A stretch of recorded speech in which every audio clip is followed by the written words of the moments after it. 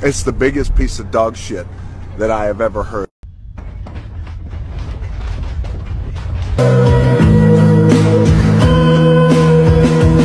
But I cannot see. I'm legally blind. That's my story.